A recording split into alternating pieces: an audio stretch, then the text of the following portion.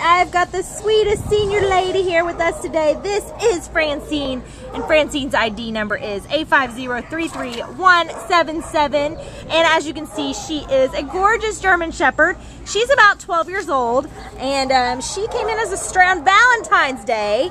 So that kind of sucked that she ended up in the shelter on Valentine's Day. Um, she weighs 55 pounds, and um, as I said, she's a senior, so she's a little slow on the movement, and um, you know, once, once she sits down, she doesn't really like to get back up.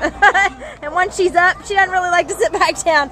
She is just so sweet, though. Um, we'd love to see her, you know, not in a home with, with little kids, but more of just a calm home.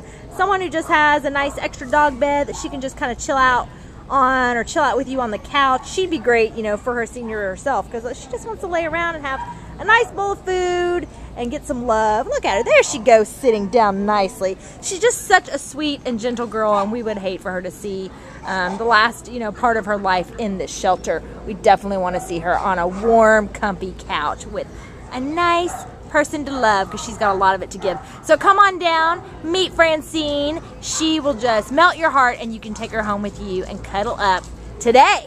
She's ready. She's ready to cuddle up today, right, Francine? Bye, sweetheart.